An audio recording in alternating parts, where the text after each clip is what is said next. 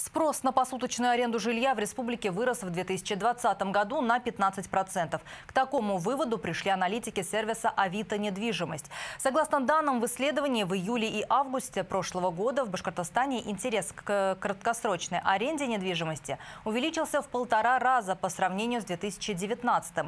А вот падение спроса до 50% наблюдалось с начала пандемии коронавируса в России, то есть в марте и апреле.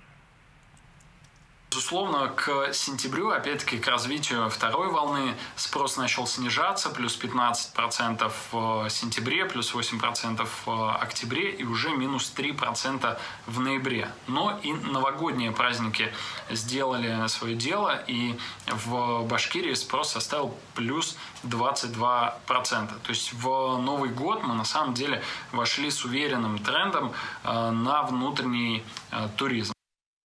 И вот по данным экспертов, средние цены на аренду квартир в Башкортостане не изменились. Так, в крупных городах Уфе и Стерлитамаке они составляли 1300 и 900 рублей за сутки соответственно.